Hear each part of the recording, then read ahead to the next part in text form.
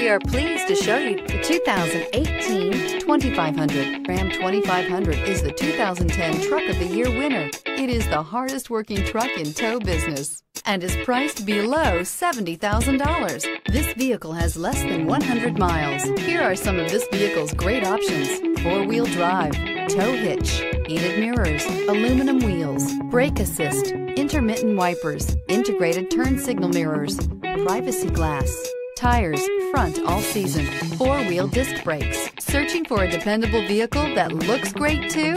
You found it, so stop in today.